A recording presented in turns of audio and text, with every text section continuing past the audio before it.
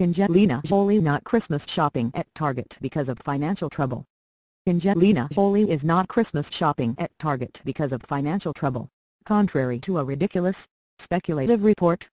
Gossip Cop can debunk this silly claim. Jolie's wealth is not in jeopardy and her bank account is not dictating where she shops. But Radar Online is asking on Friday, is Angelina Jolie having financial trouble? The webloid questioned why, as a ex-Hollywood actress, she supposedly finds there's no better place to shop for Christmas gifts than at America's most popular discount store. It's alleged that Jolie is obsessed with finding cheap new deals, despite her millions.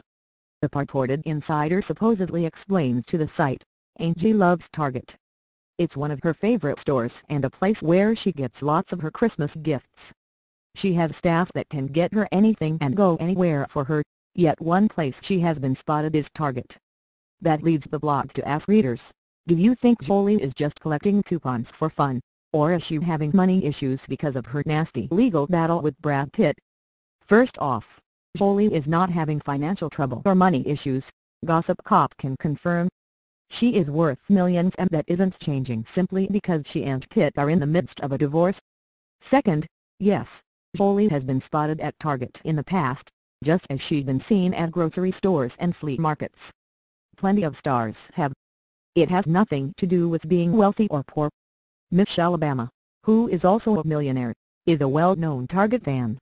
Some people just like certain stores, regardless of how much money they do or don't have. There's no rule dictating where stars can and can't shop based on their riches. Plus, consider another scenario if Jolie was seen carrying shopping bags out of a high-end retail establishment like Neiman Marcus, it's highly likely she'd be accused of going on a spree and blowing money. There's no substantial reason to draw conclusions on how much she's spending or the state of her finances, but Radar Online would find a way to pass judgment regardless, even though it has nothing to back its speculation up. It's worth noting the outlet's sister publication has also unsuccessfully tried claiming there are money woes plaguing the star. Last August, OK. Alleged Jolie couldn't afford to finalize her divorce from Pitt. As Gossip Cop said then, the Oscar winner's own cash flow was not affecting split negotiations. Now we can confirm the reverse is also true, the split negotiations are not affecting Jolie's cash flow.